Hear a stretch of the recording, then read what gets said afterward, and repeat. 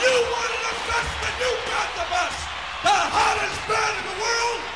Black Sabbath. Smack it's Black Sabbath Sunday, and this is a donation from Joseph Manella, who wanted me to put Sabbath Bloody Sabbath, uh, the album, versus the first Iron Maiden album. Now, here's the deal. Uh, Joseph sent me this on Friday, so I'm doing this on Saturday, and I'm putting it up tomorrow on Black Sabbath Sunday. But Black Sabbath Sunday has already been, uh, it's chock full of stuff that tonight, man. Because at 12, I got a donation. Then at, uh, at 2, I got another donation. Then at 4 p.m., I got another Joseph Manella donation. And then tonight on the only news that matters at 6 p.m. Eastern Time, a story of Ian Gillan saying that Black Sabbath is more important than Led Zeppelin and Deep Purple. So tune in for that. And tune in now. Don't leave because I'm about to start this for Joseph Manella. All right, I got to tell you, man. After doing this, it was very, very painful, the outcome for me and I'll explain why when we get there if I remember. All right, we start with the song Sabbath Bloody Sabbath versus Prowler. Both amazing openers, but there is only one Tony Iommi.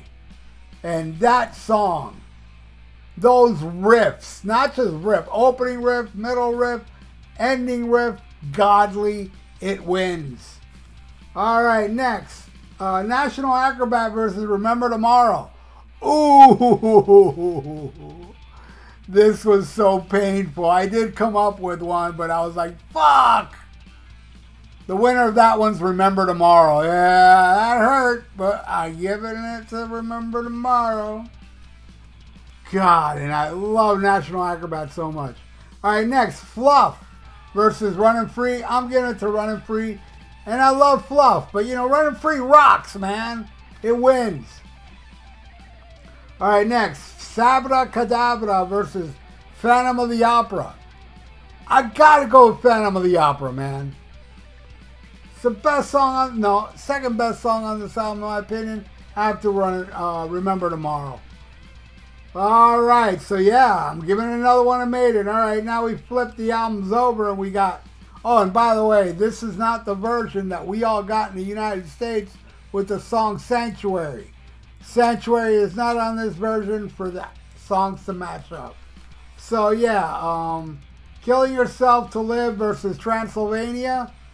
Love them both, but I'm going with Killing Yourself to Live, man. All right, next, Who Are You versus Strange World. I love Who Are You, though I'm going with Strange World. Strange World is awesome. I totally dig that song. But yeah, I got to go with um, with uh, which one?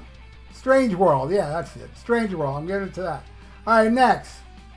Uh, looking for today versus Charlotte the Harlot. Tell me on there. Definitely Charlotte the Harlot, man. Love. I mean that that song really does showcase why I think Paul Di'Anno is the best Iron Maiden singer. That middle section, the little mellow part of that song, that's my favorite Maiden singer right there. All right, then we end it with Spiral Architect versus the song Iron Maiden. Spiral Architect wins, man. I mean, come on. The song's a freaking masterpiece. What is it about old Sabbath fans? You know, uh, just to let you all know, because, you know, I, I've heard these stories from many people that old Sabbath fans, like, you know, some younger guys will tell me, yeah, my dad, he only liked Sabbath up to Sabbath Bloody Sabbath. And I've heard that from a lot of different people. Like if you're old school Sabbath from back then, most of them, I'm not saying all of them, but most of them stop at Sabbath Bloody Sabbath. And to me, that's odd because Sabotage is so badass. What the hell happened? I don't get it myself, but hey, it's the weird thing about the, you know, the other generations before me. They feel like they peaked at Sabbath Bloody Sabbath. Shit. I don't think so, but whatever. Uh, did I say? I don't think I did. I'm going to say it now.